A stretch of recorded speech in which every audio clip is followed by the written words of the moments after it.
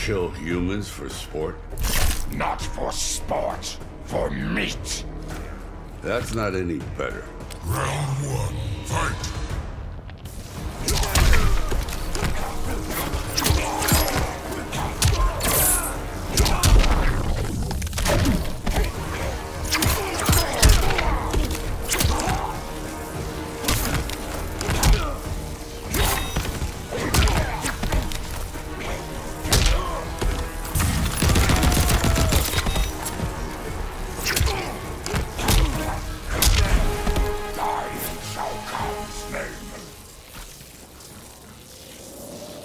Round two, fight!